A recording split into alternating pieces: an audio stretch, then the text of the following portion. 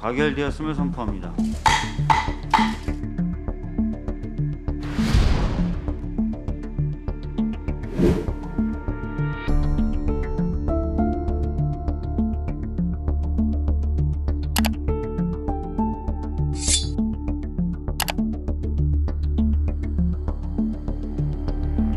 제390회 국회 임시회 제1차 법제사법위원회를 개회하겠습니다.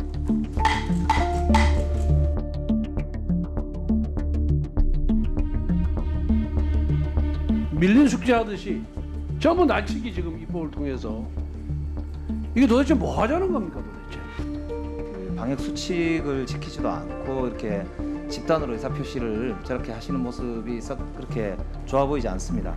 국회법을 명백히 위반한 상태입니다. 방역 수칙을 운운하고 지금 뭐 이런 것은 오히려 좀 어불성설이라는 말씀을 드리지 않을 수가 없습니다.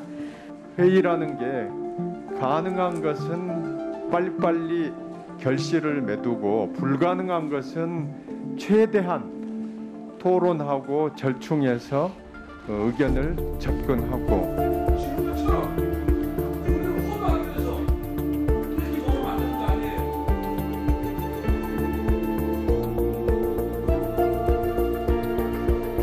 법률안을 심사하도록 하겠습니다. 아, 참고로 차수가 변경되면서 지금부터 심사하는 법률안의 의사일정 항번호가 1번부터 다시 시작합니다.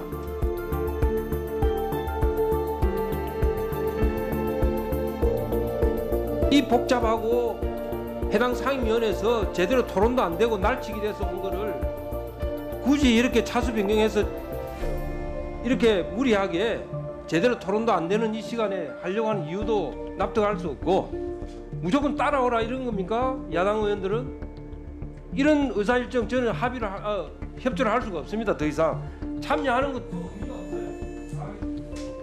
자 이양하고 자 의, 의원님들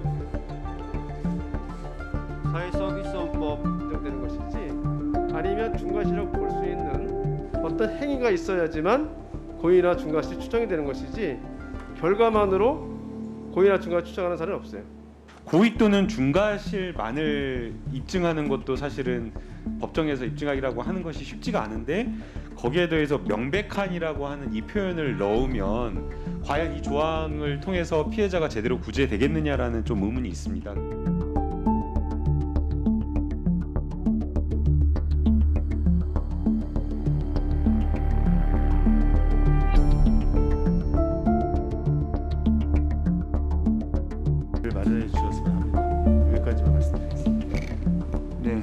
더 토론하실 의원님들은 안 계시죠?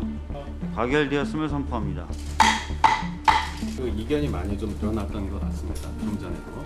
그래서 이 법안이 미흡하다는 지적이 혹여라도 나올 수가 있을 텐데 거기에 대해서는 어떻게 설명을 좀 해주실 수 있을까요? 뭐 아직 본회의 과정이 남아 있고요. 그렇기 때문에 그 과정에서 뭐 야당의 의견이나 아니면 저희 당내 다른 의원들의 의견을 반영시킬 수 있는 어, 가능성이 없는 건 아닙니다. 그래서 그런 부분 등에 대해서도 적극적으로 좀 고민해 보겠다는 말씀 드리겠습니다.